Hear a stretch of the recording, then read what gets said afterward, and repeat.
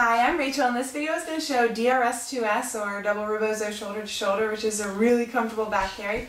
And throughout the video I'm going to compare this carry to double hammock because two are similar but it's really easy to get them confused. In um, double hammock you start uh, short distance off center so that your baby will end up in the, the center marker will end up in the middle of your back and you'll have a short tail coming over one shoulder. In DRS2S you go the opposite direction, same distance, but you'll have a long tail coming over your shoulder and a short tail under your shoulder. Uh-oh. Shut that door. Okay. Um, so then you can go ahead and get your baby on your back. Matthew, look what I have. Come here, buddy.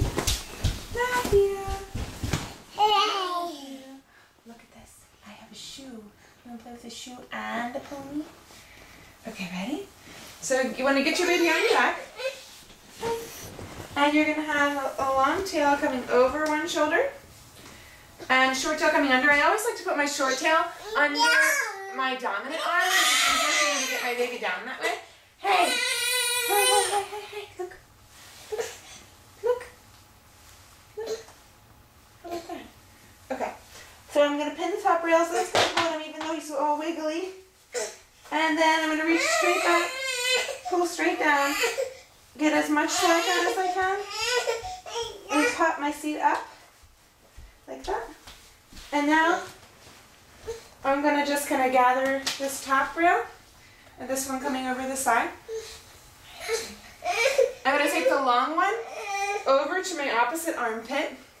I'm to take the short one between my knees. With the long one, I'm going to flip it up, flipping the fabric so that the opposite rail is on top. And then I'm going to spread to make another rebozo pass.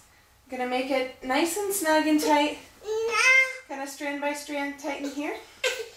I know. If you try to leg straighten while you're wrapping, you can just put your arm across and um, bend their legs again. Hi. There you go. If you stand back up, usually they'll stop leg straightening. Then you're going to take this tail through this chest belt. Just the shoulder to shoulder chest belt, which this carry is named after. So now you've got two tails that are about the same length, and here you can kind of do a little extra strand by strand. Tightening. Okay, okay.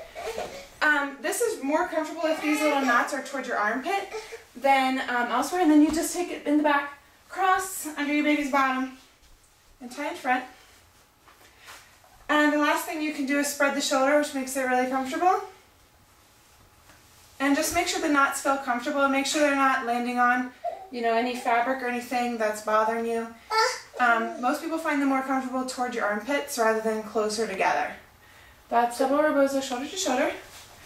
And, oh, I'd like to show how to get down from this too. Just because this one is a little bit confusing to get down from if you're used to double hammock. Um, so just untie. And take out your cross passes. And then you need to take out this one that you tucked under. Next. And try not to lose your tension on this anchor point if you can. Then you undo this one rebozo pass. I know. Down. Okay. All right, down. Um, take off that rebozo pass and get back to this one anchor point that you first had. And you can just slide your baby under your arm. And that's why I like to put the short tail under my dominant arm because it's more, it's easier to get him out that way. Oh, there you go. Thank you.